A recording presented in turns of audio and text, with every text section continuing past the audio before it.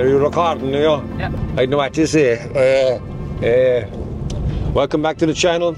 Welcome back to the vlog. And today you join myself and Bernardo, and we are on a drive around this beautiful part of Ireland. It's a grey Clagdin day, but we're going to go exploring and we're going to see what presents itself in front of us. I know it's going to be nice, but Bernard, please tell everybody where are we going today?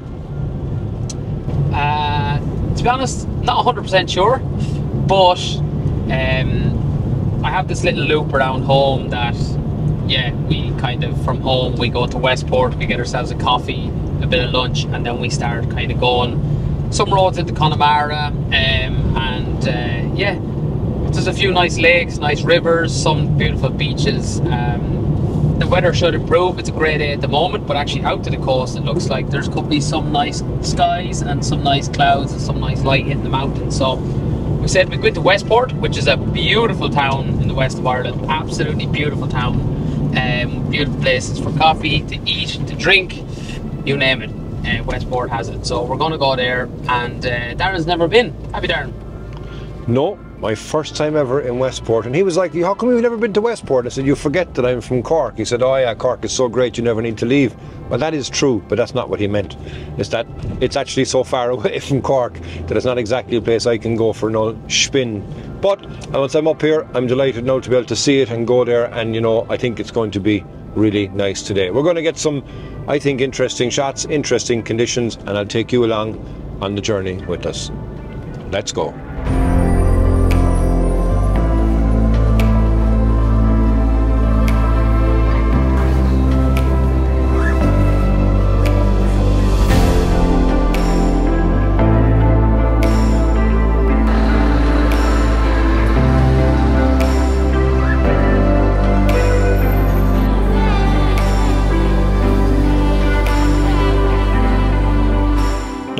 Welcome to our first stop here today. And where I am is at the base of Croagh Patrick. I'll give you a look at it in a moment here. It's an area that a lot of people who are religiously orientated take a pilgrimage and they go to the very top of it in their bare feet, of all things.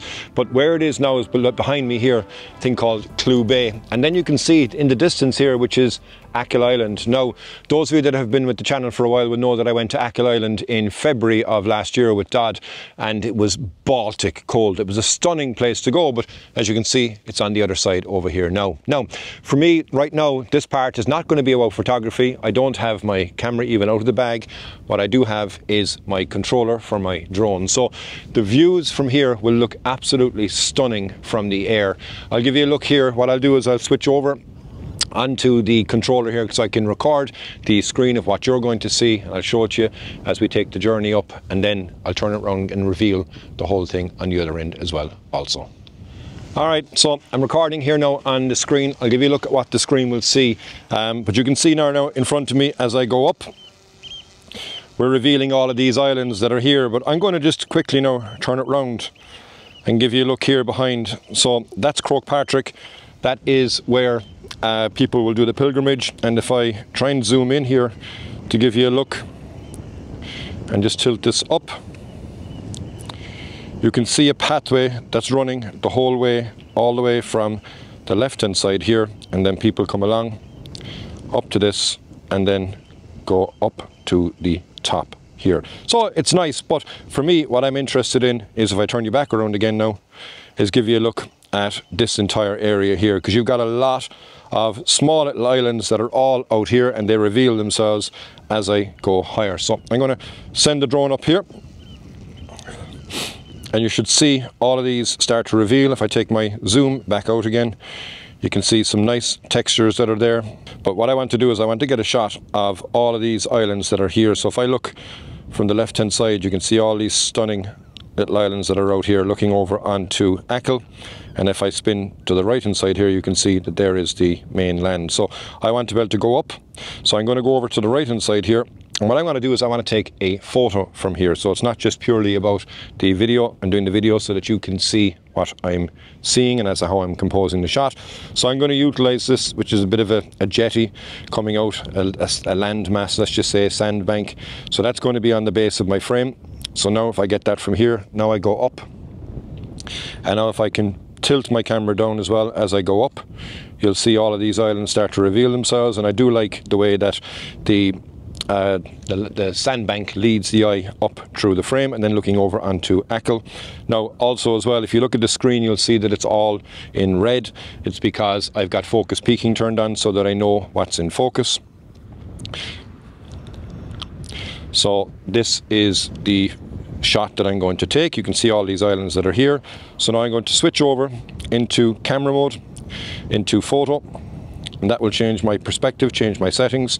So I'm going to tap from here point of view. I'm going to go into my manual and I'm going to take my shutter off auto and I'm going to change that. I'm going to look and looking at my histogram which you see on the left hand side it's going to tell me how much I can play with. So if I'm going here I'm actually getting it as a slower speed. So we're going to go to this way, which is overexposed. And I've got an ND32 as well on that. And that ND32 allows me to control, so you can see the zebra is appearing. That's telling me the area is overexposed. So that's now perfectly fine. I've got my aperture at f9, and it's telling me I'm almost one stop overexposed. So I'm just going to change my aperture here. And I'm going to bring that to f10 and I think that's going to be better now. And then all I have to do effectively is go in here now back into my camera. And then if I go into uh, AEB or burst so burst will take five shots. AEB which is auto exposure bracketing will take uh, three shots. And then I click on this here it'll take three shots. One will be underexposed one will be exposed correctly and one will be overexposed. And that way I'll get all of the details. Now I do like the cloud as well that's there. And if I look from where I am now looking down you can see all I've done is gone straight back up. So if I look at the cloud that's here I like the texture that's within that but I want to bring that down slightly and then if I just turn here so I'm not losing the edge of the islands and I do the same thing again and take those shots. So yeah, that's the shot from here. I'm going to take the drone back down now again. Uh, I think the light actually is interestingly, it's kind of fleeting across the scene, but yeah, I'm going to take this back down again now and then we move on to wherever we end up next.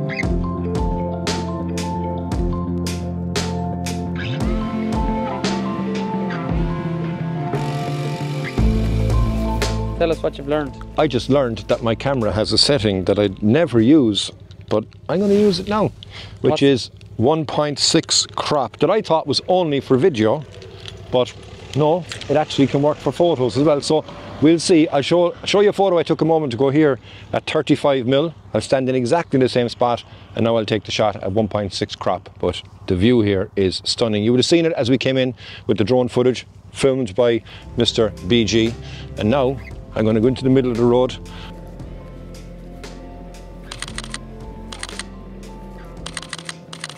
Hmm?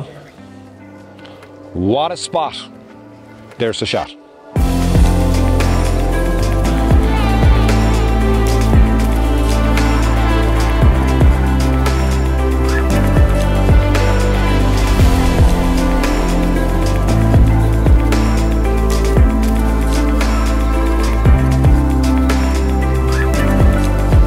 Here, Bernard decided to share another tip. So I'm going to pass you over to Bernard now, who is going to take the next part of this video. So I'm using Darren's camera and lens here, so I don't want anybody holding it against me that I've got a Canon in my hand. Um, but uh, just this beautiful spot here, which is in Doolough, County Mayo. It's a gorgeous place and it's quite moody today and generally it is quite moody but the odd time you're here, you can get some beautiful light on the mountain, even in the middle of the day. We've had a little bit of light passing through, but nothing really significant. But I said I just, while we're here, just show a little bit of what I shoot, especially when you have workshops in here and you do have middle of the day stuff that generally may not be your best photo ever, but it's a great time to teach composition. And this is what I love about here is these beautiful lines in the in the rock here which just literally leads you straight into the valley and straight to the mountain, mountain in the back. And I'm just going to do like a little setup here just to give you an idea. And um, I'm sure Darren will hopefully edit the shots and put them in next.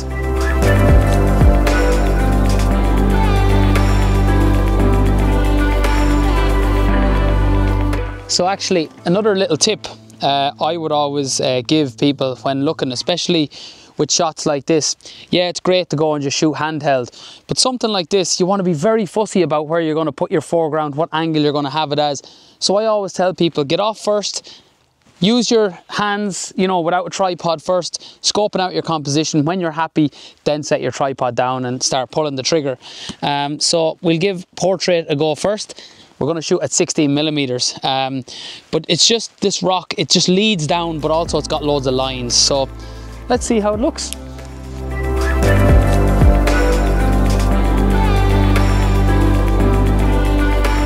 So I've settled on a, a, landscape shot and as I say the light's not the best there's plenty of mood but what I've just done is I've just filled the whole bottom of the frame well not whole bottom the bottom third with this rock and it just curves into the bottom of the frame and just leads your eye through.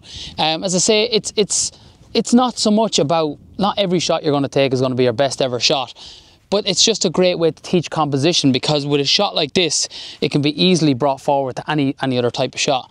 Um, there's light trying to get through here I don't think it's going to happen, but still, in a, in a scene like this, I would just do a quick snap, one shot, one, stop underexposed, and um, it's just a lovely, lovely shot, lovely way to learn composition, and another excuse to get out and about.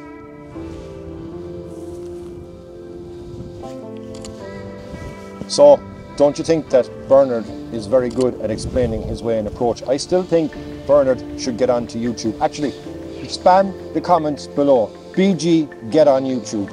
And hopefully he'll listen and start creating his own content on YouTube also.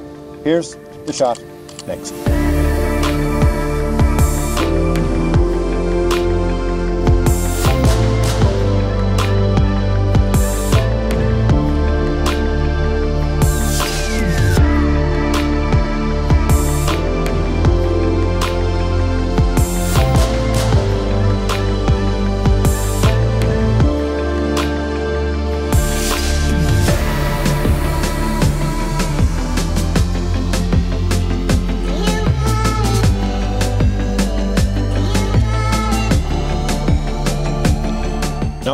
Isn't this a beautiful area to be able to play around in? Beautiful boats here, Scott pines as well, trees, and these mountains here. We're at the very end of the Doolough Valley, and this is where we ended up, and I really like it so far. So, gonna get set up here, have a more traditional shoot, I think here. I'll talk you through some of the shots instead of the running gun side of things, but I think this is gonna be lovely.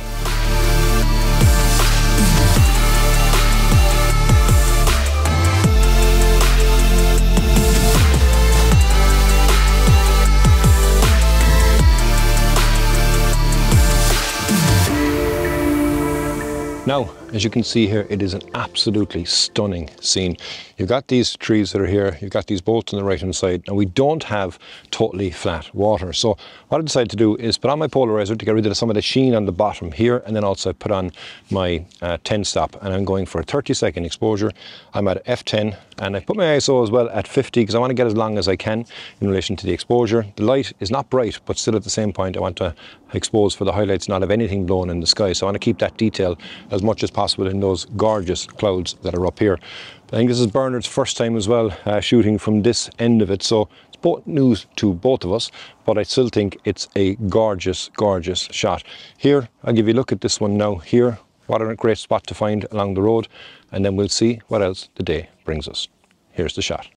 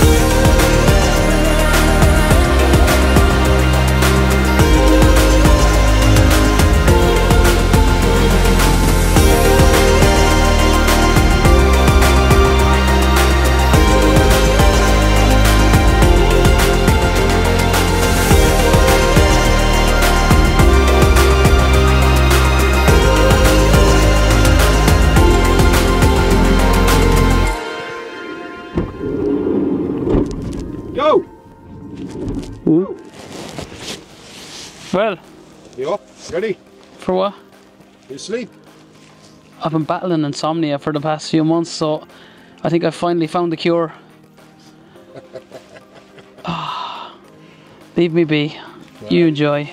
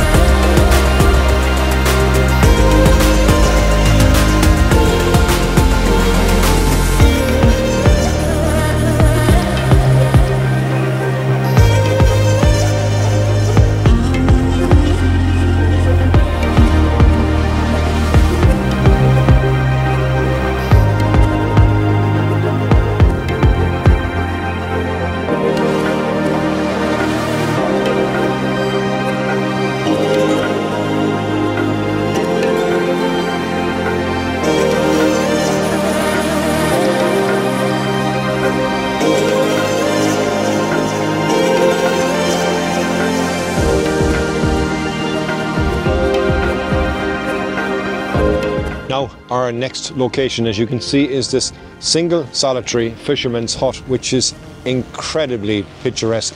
As Bernard flies the drone directly above me here, uh, hopefully you didn't hear the audio from that, but he's getting some drone footage here, which you'll see in a moment.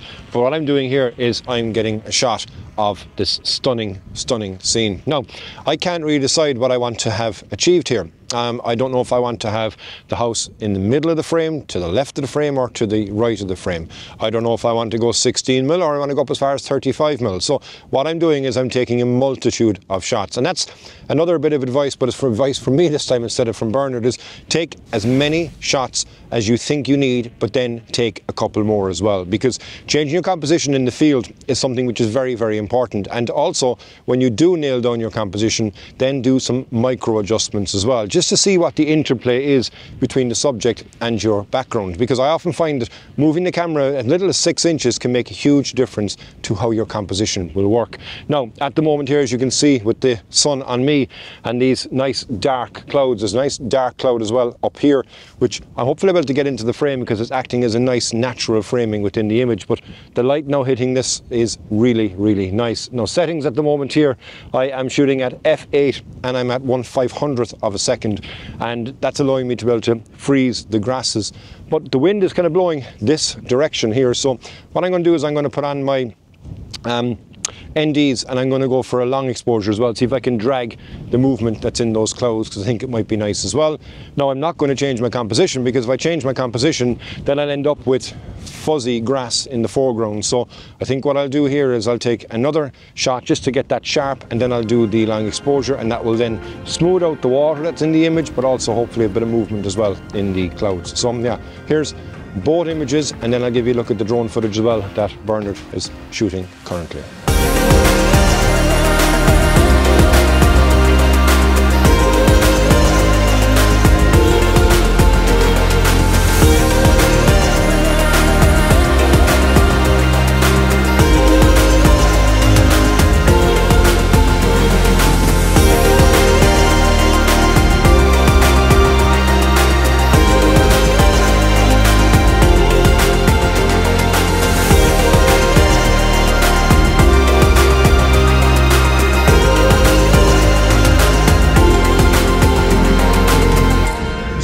That was an excellent day driving around on a loop around. We went from Mayo into Connemara and the conditions that we had were great actually. There was really nice texture in the clouds. We got some fleeting light. A small bit of rain as well. We were having some lunch earlier, but that's fine. And yeah, Bernard has brought me to some pretty, pretty nice places. Bernard, what's your uh, thoughts on the day? You've been here a number of times before, but share your thoughts. Um, I think it's always good to it's good to get out no matter what. Um, were the conditions very inspiring for me? No, but it's still nice to get out and just keep the brain ticking over. Um, I've seen this place with all sorts of light and conditions and, and mood and everything you can imagine. Um, but in general, it's just nice to just to be out and about. But it's different when you're out in your own and the conditions aren't inspiring. Um, and it's totally different than when you bring someone who hasn't been there before. Um, so that's the game changer is there and giving Darren, you know, your thoughts on on the locations or conditions and stuff like that. So um, and to be able to help out with little tips um, as well. Um, which is which is great. So yeah, I think overall it was uh, quite a successful day, and I think any day you can get out on your feet is a good day. I fully agree. And uh, yeah, you know, Bernard, I think it's interesting actually when we think about the different things that we saw today. Like they're my first time my eyes seeing them. But at the same point, you're going there again and you can say, okay, you can see it through my eyes. And it may not necessarily be epic light, but that doesn't mean that you shouldn't go there. You should always go there. There's always going to be a shot. Granted, it may not be the banger shot, but it's still a shot nonetheless. So, yeah, thanks everybody for tuning in and for watching. Remember, the key is smash those comments with Bernard for YouTube and make sure you're joining me next Wednesday for Behind the Raw where I'll pick one image from today's shoot and I'll talk you through my editing process on that. So as always, thank you. And if you're first time on the channel, please hit the subscribe button, give me a like, give me a comment and until the next time, Slán go fóill.